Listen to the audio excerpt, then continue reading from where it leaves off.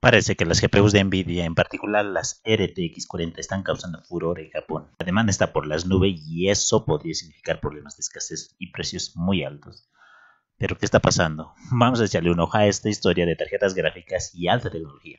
Primero tenemos que hablar de las RTX 40. Nvidia ha sacado una artillería pesada con estas bestias. Tienen un rendimiento increíble y además traen la última mejorada tecnología de lss 3 con Frame Generation, que básicamente significa que tus juegos correrán como la seda. También son una maravilla para tareas de y trabajos de inteligencia artificial.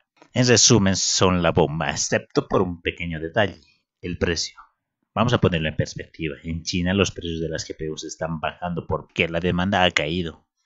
Pero en Japón la historia es lo contrario. La demanda de esta serie TX 40 están disparada. ¿Recuerdan esta época loca del COVID y la fiebre de criptominería?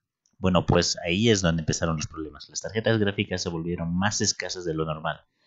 Las pocas que se podían encontrar costaban un riñón y medio. Y cuando pensábamos que todo volvería a la normalidad, llegaron las RTX 40. Hasta la GTX 10, las GPUs de Nvidia mantenían precios decentes, incluso de alta gama, pero las RTX 20 los precios comenzaron a subir mucho.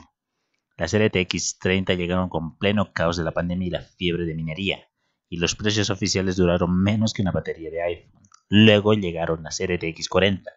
A pesar de ser monstruos de potencia, tenían etiquetas de precio que asustaban a la gente. La demanda de las ventas parecía estar en declive, hasta que llegamos a Japón, ahí es otra historia. La demanda de las RTX 40 de gama alta es alta. Las tiendas de hardware en Tokio como Akihabara, Electronic Town ya están en su límite. Los dueños de estas tiendas están empezando a ver señales de escasez, especialmente en las RTX 4080 y las queridas RTX 4090, que son las más populares con diferencia. Y no solo en Akihabara, otras tiendas y zonas del país también están sufriendo esta fiebre de compras.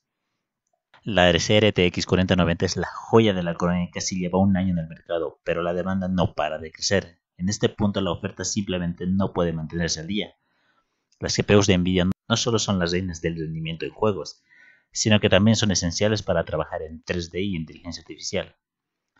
Aquí viene el dato interesante. Los centros de datos están en juego con las GPUs gracias al auge de la inteligencia artificial. Nvidia ha ganado una fortuna de unos 10.300 millones de dólares con sus GPUs para el sector de inteligencia artificial, mientras que en juegos solo se queda con 2.400 millones de dólares. Así que en resumen, Japón, la fiebre por la RTX 40 es real, la demanda está por las nubes y las tiendas están al límite.